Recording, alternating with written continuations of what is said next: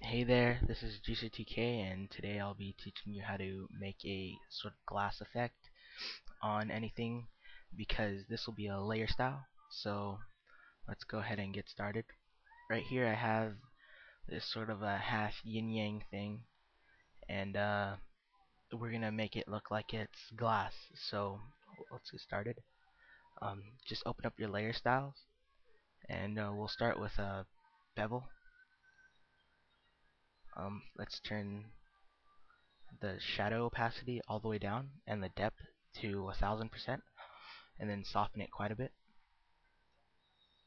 Um, oh yeah I'd like to uh, turn the fill opacity down as well to about um, 20 20% and then uh, I like the contour on.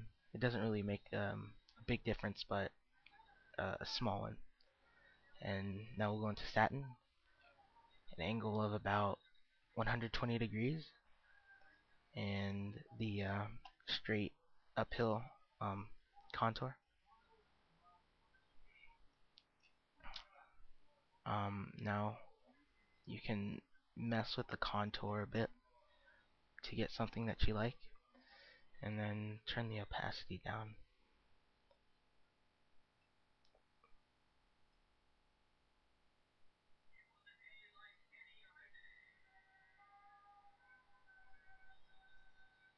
I'm sort of using the preview as a reference. Okay.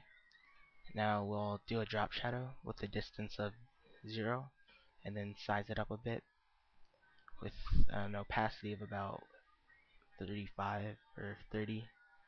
30 is nice. And now we'll do an inner shadow, uh, not an inner shadow, inner glow um, with just white. Oh, what happened? What happened? Oh yeah. Okay, yeah, just white and um, set the choke up and the size. And now we'll set the opacity down.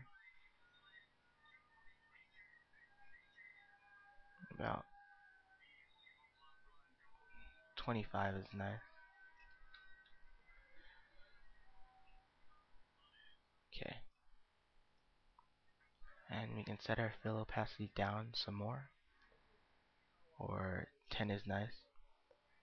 Okay. Now we'll um create sort of a shine effect. So just control click on your you know whatever you're making and add a new layer. Select your motion tool and just move your selection up a little bit. I'm trying to line the two points up together right here so uh, it looks nice. Okay now I'm gonna select white and go to my gradient tool and select foreground to transparent with a uh, radial gradient gradient effect and then just drag back.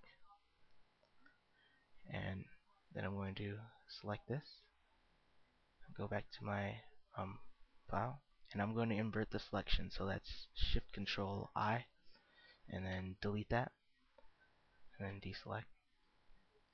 Now I'll set my opacity down to about 50 or 40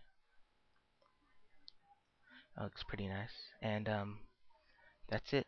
And you can um, you can either delete that or you can just um, alt click in between those layers to um to uh what what is it? I don't know.